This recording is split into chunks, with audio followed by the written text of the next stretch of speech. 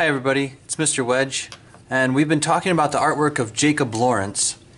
And Jacob Lawrence paints uh, scenes with people in them, uh, and he thought the simpler the better if you were dealing with a really important, serious subject. And a lot of his artwork, most of his artwork, is about the experience of black people in the United States of America.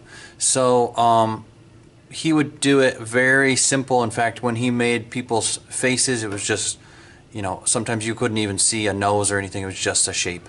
So almost abstract. Um, and he worked kind of small. Usually he did a lot of smaller paintings, especially in the beginning.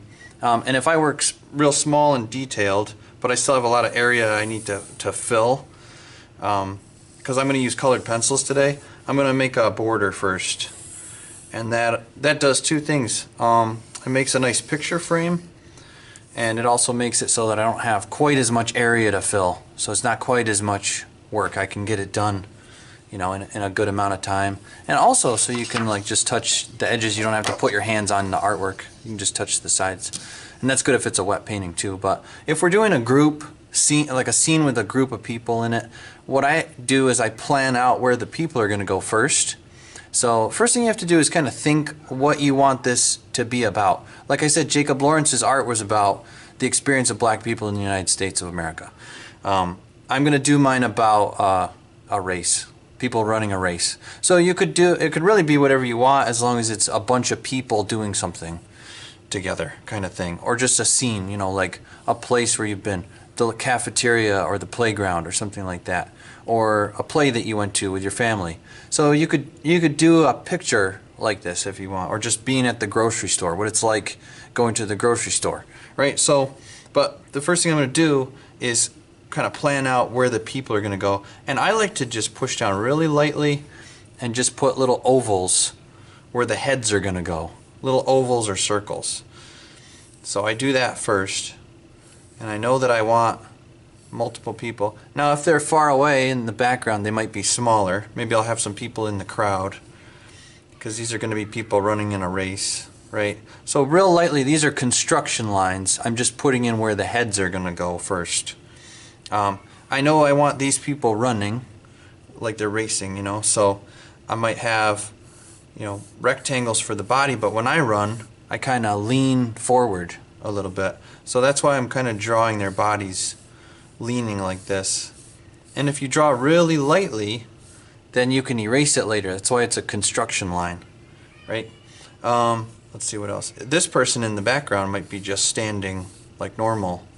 So, and you can see I used a trapezoid. I made it a little bit smaller at the waist than it is at the shoulders.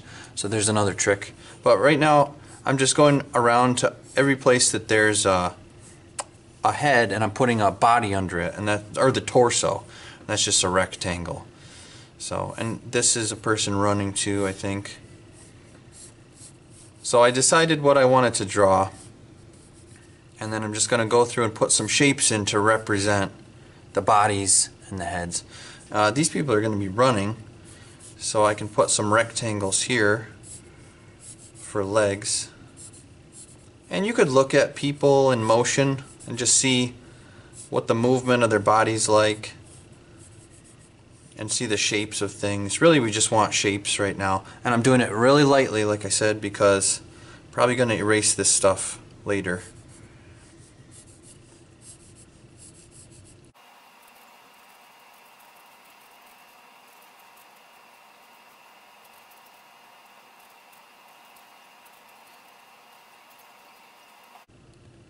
So for the hands, um, I, am doing these just circles because they're fists. You know, when you run, I, I don't know, I have my hands in a fist when I run.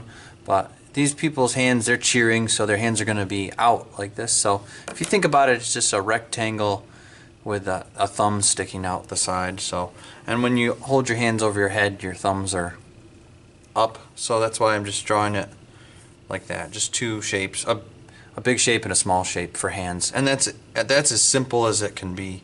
Maybe this person's waving Maybe I'll bend the arm like this. Um, if it's going to go off the paper, just have it go right off the paper like that. And don't worry about it if it's the right size or not because um, Jacob Lawrence would change the size of things depending on or if he wanted something more important, he would draw it bigger, that kind of thing. And right now what I'm doing is kind of going down and pushing down a little harder, making things a little darker once I know the shape I want. So maybe, you know, the back of the head is curved and then it comes down for the neck. So you could do that. Now that I know where the head is, I could start to make it look like a head.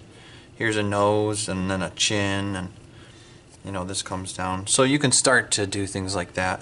Um, shapes. We're just talking about shapes right now. So I'm still I'm going to keep going and you can add things and change things as you go, but we just want shapes of a group of people doing some activity.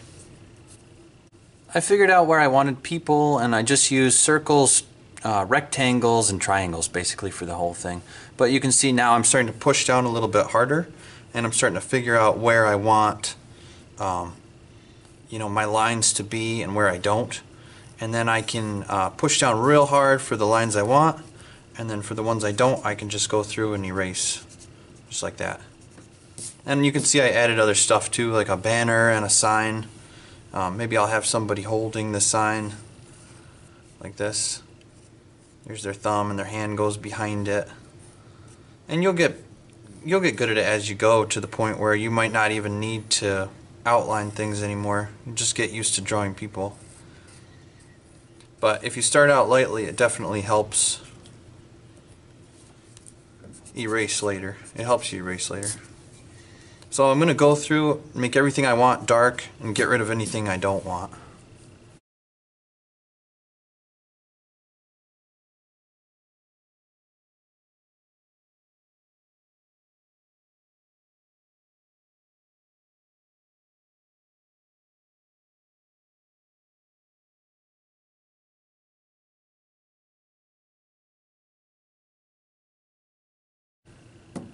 So I uh, pushed down hard everywhere that I wanted to and I changed the shapes as I went and I got it to where I like it. And uh, then I went through and erased anything that was light that I didn't want anymore right? So now all I have to do is go through and color this. And I because I made a border I don't have quite as much to color.